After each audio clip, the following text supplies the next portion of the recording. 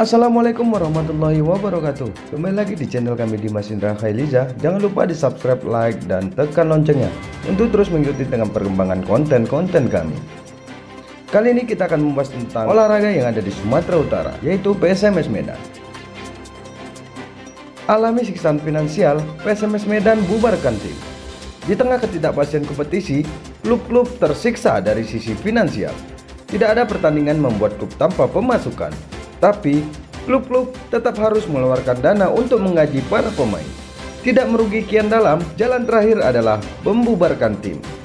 Contohnya Madura United memulai langkah itu. Klub asal Pulau Garam tersebut sudah membubarkan skuad hingga ada kejelasan kompetisi.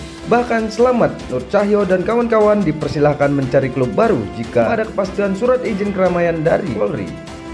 Langkah tersebut kemudian diikuti PSMS Medan. Kemarin Ayam Kinantan melaksanakan latihan terakhirnya. Lekimin, Reharjo dan kawan-kawan dibubarkan sementara hingga 9 Januari mendatang. Kenapa tanggal 9 Januari? Sekretaris tim Julius Raja mengatakan tanggal itu adalah deadline untuk PT LIB mendapatkan surat izin keramaian dari kepolisian. Jika belum atau tetap tanggal tersebut operator belum bisa memastikan kapan kompetisi akan digulirkan, PSMS Medan benar-benar tidak akan memperpanjang kontrak pemain.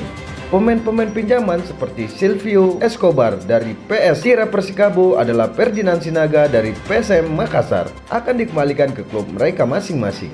Pemain lain pun dipersilakan pergi jika memang ada klub lain kasta lebih tinggi. Kondisi finansialnya sedang kacau balau karena ketidakjelasan kompetisi. Jadi PSMS Medan akan tunggu sampai 9 Januari mendatang. Demikian konten ini kami buat mudah-mudahan menambah informasi kita semua. Assalamualaikum warahmatullahi wabarakatuh.